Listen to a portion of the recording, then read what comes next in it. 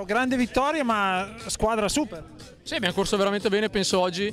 Eh, alla fine nel gruppettino che è rimasto davanti eravamo in due, Diego ha fatto un grandissimo lavoro sia nel tirare che nel tenere il ritmo in salita. E poi sono riuscito a vincere finalmente, dopo il secondo posto l'anno scorso eh, sono veramente contento. L'anno scorso qui eri stato protagonista ma molto sfortunato anche nella gara di domenica, quindi adesso vorrei concludere al meglio la stagione. Eh, speriamo dai.